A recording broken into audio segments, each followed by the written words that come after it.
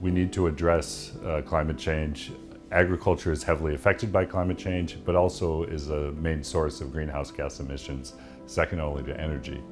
The problem is, is that we do need to feed the planet. The poorest people in the world rely heavily on agriculture. So if you want to address climate change, you can't do things that are going to hurt farmers and hurt uh, poor farmers in particular greatly because then you'll end up with a situation when you, where you actually can worsen food security. We're going to be requiring the best and brightest minds in science and in social sciences to be able to come together to figure out how do we feed 2 billion more people on this earth. Research, research, research. That's what we need right now. New strategies, new opportunities. Um, it, in general, what we have seen in our country is agricultural innovation through research has been able to solve big problems of the past. And that's what we need right now. The only way we're going to be able to solve the problems around climate change, food security, and agriculture is through research.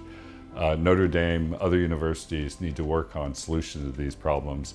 Those solutions have to be technical, uh, they need to be biological, but also social. A lot of the innovations that we see are not just the technical side of things, but innovations around how do you deliver. And so what we want to do is address climate change in agriculture, uh, but do so in such a way that we ensure that farmers, particularly small-scale producers, are able to maintain their livelihoods and to move forward.